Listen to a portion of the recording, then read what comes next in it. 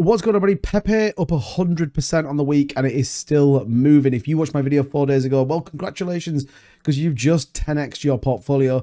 But what's going on? How much more is this going to do? Is there an insane run coming with Pepe? Well, we're going to try and break it down for you in this video so that you know exactly how to play this trade, and equally, should you be buying or not. Make sure you subscribe to the channel to keep up to date with everything going on in the cryptocurrency world. Smash a like if you're holding your Pepe, and let's get into this one. So what you can see now is the 66th highest ranked cryptocurrency in the world right now is Pepe, currently at 1325, 11.7% up on the day. And actually, if we put it for the week, 111%, around $416 million worth of volume, and broke half a billion once again on market cap. So we've seen another significant move up for Pepe. Now we'll look fully at the technicals in just a second, but there's a couple of things I wanted to talk about. I talked about this in my video the other day where the hold account on Pepe continued to rise. You can see there 143,000, another half a percent up. And obviously a half a percent doesn't sound a lot, but when you context it against 143,000 holders, well, it suddenly starts to add up. And what you've got right now is that feeling that we had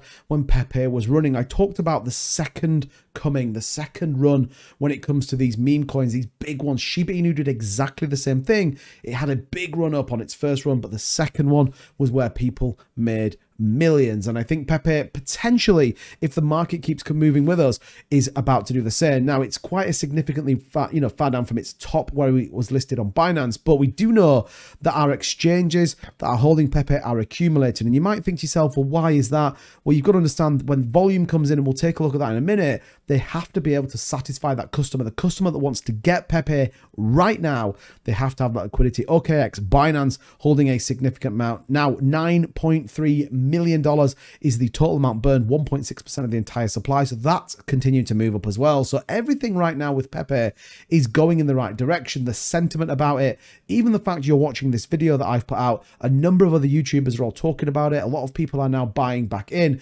Please, please though, be mindful of those videos that tell you that they are buying.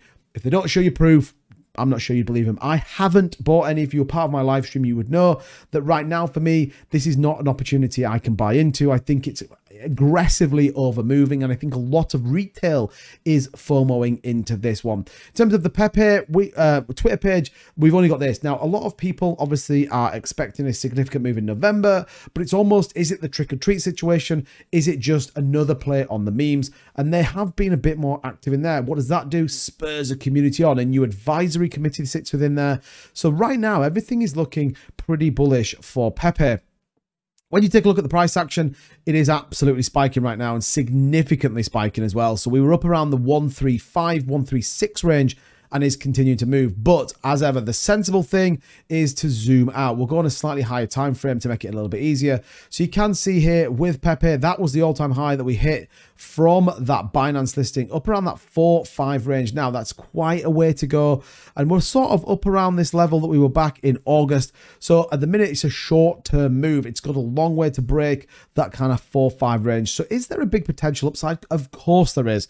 And could this do what Shiba Inu did? Yes. The debate for me right now is which one do you pick for the bull market? Are people going to move into SHIB with Shibarium, with utility, with all the access that they have? Or is Pepe going to be the new uh, opportunity? Is Pepe going to be the one that really starts to move? It's going to rely a lot on the community as well as those exchanges buying in.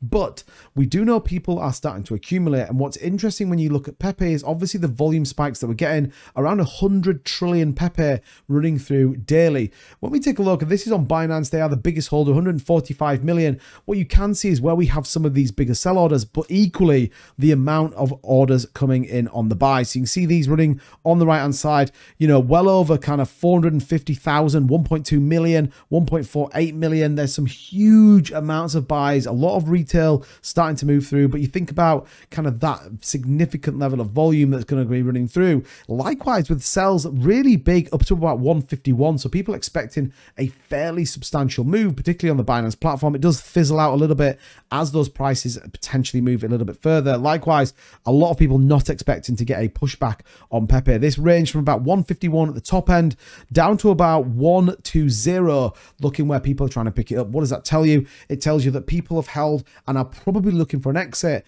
But once they're out, that could really spike up the price of Pepe. So do be mindful. You could see some real significant volatility within Pepe right now. You see that right now pushing back down around the six and a half. So be mindful if you are going to trade this. I do think there is some more upside if the market continues to move with. The price of Bitcoin, 34,000, looks like it's just had a big liquidation over there. So again, it is a very volatile moment in the market. A lot of sentiment is sat there and a lot of anticipation of ETFs could dwindle out, which could bring the market back down. So again, let me know in the comments though, what do you think? Have you FOMO bought Pepe or are you looking for an exit position? Let me know down below in the comments. And if you like this sort of content, you want to stay up to date with cryptocurrency, you want to prepare yourself for the bull market, well, you know what to do. Hit the subscribe button, turn the notification bell on, and smash a like on the video as ever. Thank you so much for watching this video. I really appreciate you guys. I'll see you on the next one. Take care. Bye-bye.